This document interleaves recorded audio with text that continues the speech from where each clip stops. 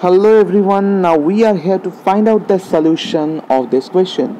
Here in this question it is described that you have to find out the magnitude and the direction of i cap plus of j cap, right? So how to find out the magnitude?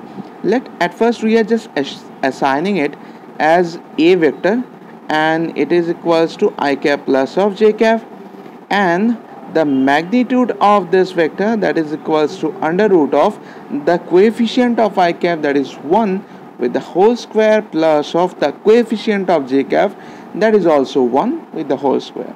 Now it is having a magnitude of root 2. Now we have to find out the direction so how can I find out that? Let we are just drawing the axes right there is a this is our x-axis this is y and this is the z-axis now along the x-axis we're having the unit vector that is of i cap. Along the y-axis we are having j cap. And along the z-axis we are having k cap. Now in this case in the given example we are just assuming that the vector suppose the vector is residing at this position. We are just assuming that. And that a vector is having some angle of theta with the x-axis suppose for this case what will be the direction?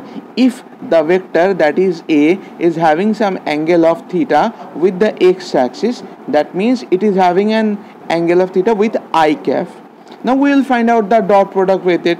What will be the dot product? That is of i cap plus of j cap. Dot of i cap right? Now according to the rule of dot product what do you know? That dot product of two vectors that is equals to the magnitude of this vector that is of root 2 multiplied by the magnitude of this vector that is equals to 1 multiplied by cos theta.